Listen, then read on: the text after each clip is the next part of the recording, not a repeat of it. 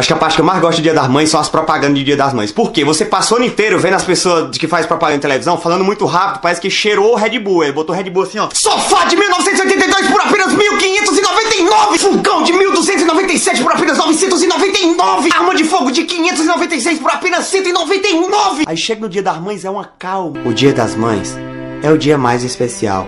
É o dia da mulher que te colocou nesse mundo.